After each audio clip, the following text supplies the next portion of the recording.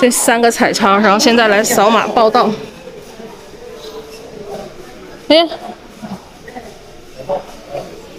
啊，这个已经报到，等着呼叫。没有没有，还有还有一张就行，他不看你们吗？我三个人有几个扫几个嘛。你，我都说半天了，我都，哎呦我的妈！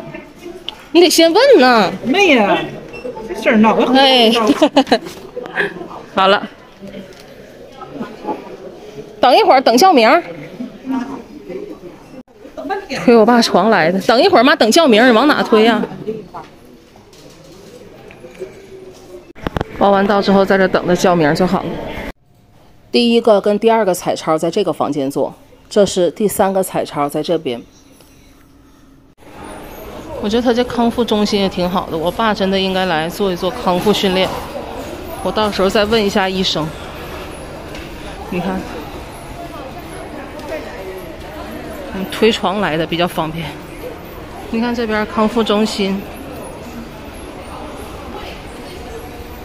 那边也有。嗨，大家好，我是阿丹。然后今天的话呢，我已经回到家了。哎呀，实在抱歉，今天的影片可能得稍微晚一点，因为我刚才躺沙发上睡着了，一不小心睡着了，还没洗澡呢。我就想说，呃，我刚才把衣服都换下来了，然后我就躺在沙发上。跟我女儿唠会儿嗑啊，聊会儿天儿。我给我女儿买的那个做手工的东西，自己在家老老实实做手工的。然后做完之后跟我显摆显摆，哎，我就躺在那儿啊，就睡着了。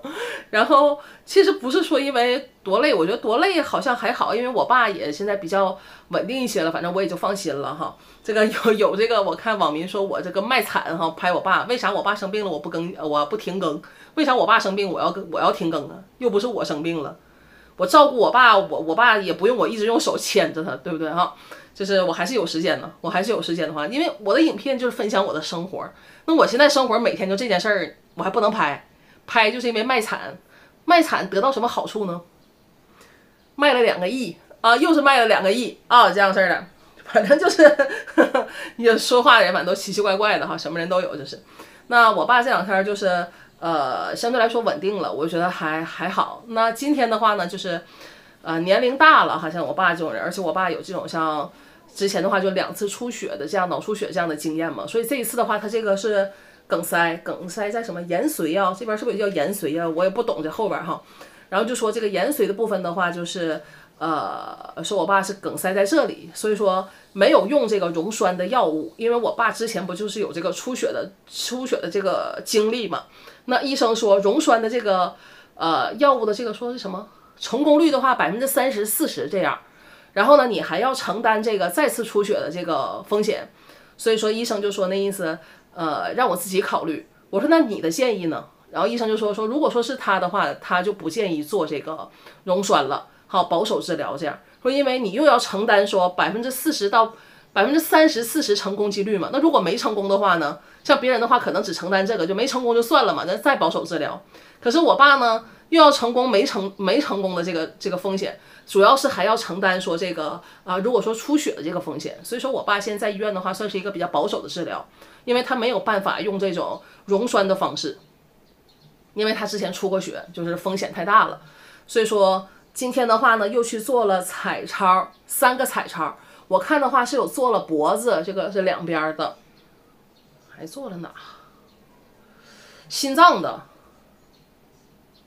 哎呀妈，还有一个哪？忙活忘了。你说，反正做了三个彩超的。然后呢，就最大的问题就是说我爸心脏的话，什么心衰，因为他心率很慢，五十多、六十多这样。然后还问我爸说爱运动吗？我说运动啥呀？他那腿都一天去社区都走不了多远都。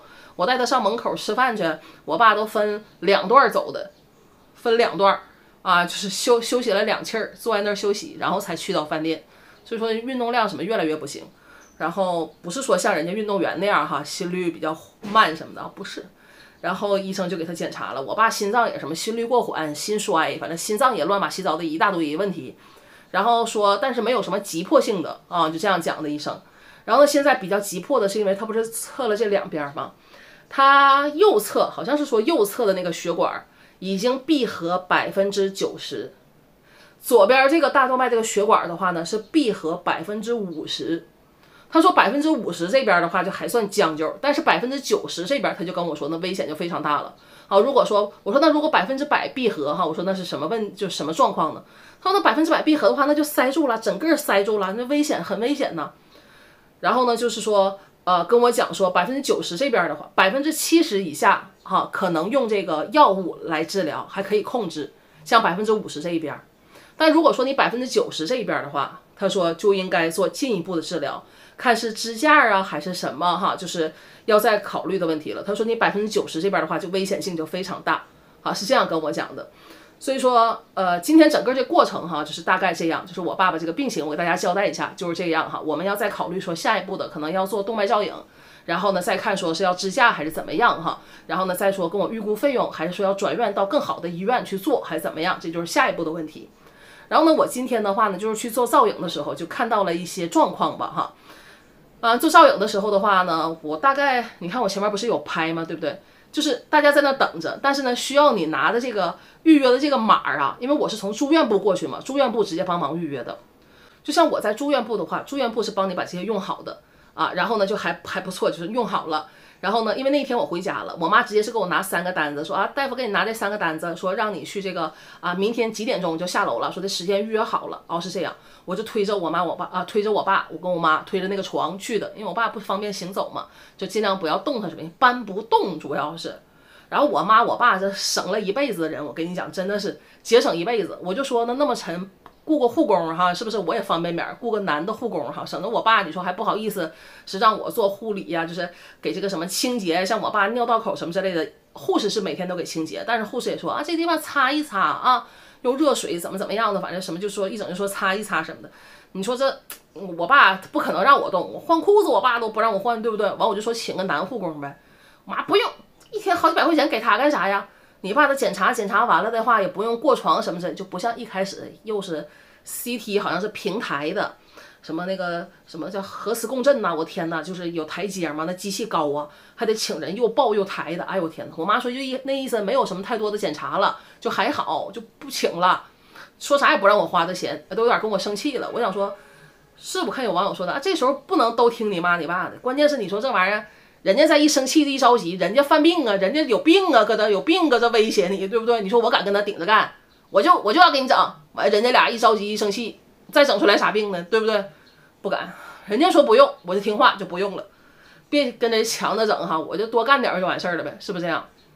然后就说这个，我今天去看哈，就到那边的话，呃，我在我是因为住院部预约好的嘛，但是呢，就假如说你是急诊或者是门诊的话，是需要自己再预约，然后自己去报到。但这个报道哈，说实话真的不知道，就是我我我去的时候也不知道，我是到那个服务台去问了，那服务台的人可能也是因为他是负责预约的，然后上面都贴着，其实有写就什么啊，预约完之后什么几点按单子上的时间在机器上报到，但有的人可能就没注意看到，尤其年长者就不太知道哈。我在那等着的时候，我就听到一个大哥吧，那五六十岁看起来中气十足的哈，就在那骂，这他妈谁知道啊？连个人都没有，能好好说话人都没有，就在那吵。他可能是坐在那儿等了很久，他以为到了这个时间就应该叫我了，为什么等了这么久还没轮到我呢？你知道吗？那大哥在那吵，然后呢就去问了这个预约的地方，人家说你还没报到呢，那你去吉信那儿报到，就这一句。完，了大哥就是急了，嗷嗷在那喊。我想说啊，那也不怪你，都说现在吧，什么什么自助啊，什么什么啊，什么电子啊什么的哈。老年人会吗？太多老年人不会的东西了。就像我说，我在急诊那一天，急诊那一天的话，就是你大家看我拍了，自己送检，拿了这个血的这个样哈，血样自己送检，然后就连这个血样报告都是要自己在那个自助的机器上列印出来。因为我还有包括我爸做 CT 那片子，都是要在那自助的机器上自己列印出来，然后拿给医生。因为我还没到那个列印那个时间呢，就譬如说他让我一个小时以后去列印。我还没等到那个时间呢，我就被转到住院部去了。所以说那些信息的话，住院部的那个医生的话，我说那我用去拿吗？然后医生说不用不用，我在电脑可以看。啊，所以他就是用电脑看的那些信息。他说啊，你这血样也出来了，啊，就跟我说了。所以说就假如说你是不是转到住院部的，你就是在门诊急诊的，这些东西都是要自己操作的。老人会吗？我跟你说，那老人肯定不会用。就像我之前我妈就是不是住院那个什么，就是糖尿病住院，她不是也没跟我讲吗？是事后咱俩聊天儿，我说那你咋整的？那我都自己整呗。啊，那个那取报告，那都现在都搁机器取了，就我妈说的。我说那你会整啊？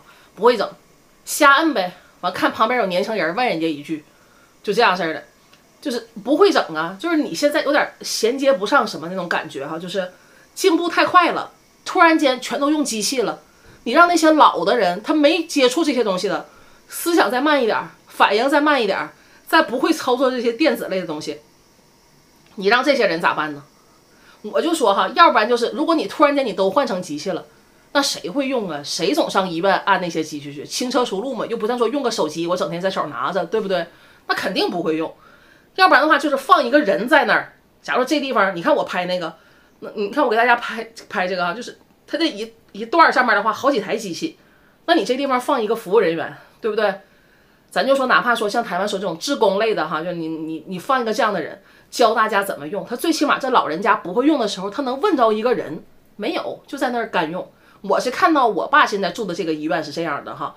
至于有的人可能说，全中国的医院怎么都是这样自助，就都自己这个取取样本，然后又没有人指导吗？那我不知道，别的医院没去哈。咱就说我现在说的说什么的话，就是在说这件事情，当下这件事情哈。那别的医院我没去，我咋跟你说呀？有人说我这是借口，我借口啥呀？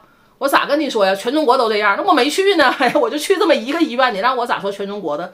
哎，我这没说，这别人都说我这是借口，别总拿大是借口，那就是那么大呀。各地情况就是不同啊。你说我没去的，我怎么跟你说呢？有的人就不理解你这个，你知道不？就愿意听到我说中国多不多不好，抱怨这事儿那事儿的。我能一下抱怨全中国？我从来不这样哈，我就说当下这件事情我的感受。